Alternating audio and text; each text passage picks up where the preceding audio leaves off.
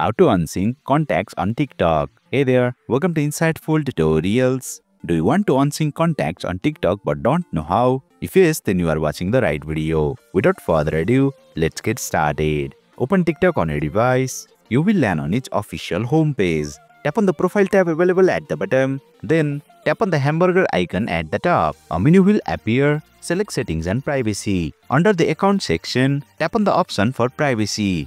Now, toggle off the feature for sync contacts. Once turned off, TikTok won't sync your contacts anymore. However, TikTok has already synced and saved your contacts on their server while the feature was turned on.